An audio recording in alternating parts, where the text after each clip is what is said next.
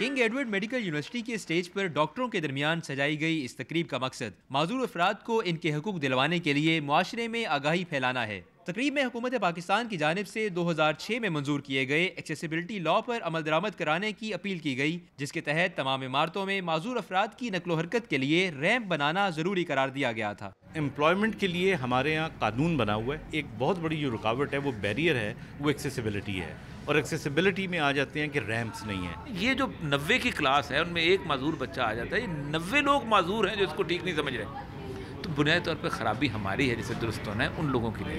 तकरीब में नौजवानों ने माजूर अफराद के लिए खसूसी चार्ट बनाए और खाके भी पेश किए जिन्हें मुल्क भर से आए माजूर अफराद ने भी खूब सराहा। हम यहाँ पे कोशिश कर रहे हैं कि गवर्नमेंट को परसुएड करें कि जो उन्हें 2006 में लॉ पास किया था अबाउट एक्सेसिबिलिटी उसकी इम्प्लीमेंटेशन हो। ये जो मूवमेंट स्टार्ट हो रही है that's a very brilliant idea और इसमें जो है हमें हर जगह एक्सेसिबल होगी हमारे लिए। लोगों को हमारे हम अवेयरनेस देनी चाहिए कि डिसेबल लोगों के साथ जो है इम्तियाजी सलूक नहीं किया जाए।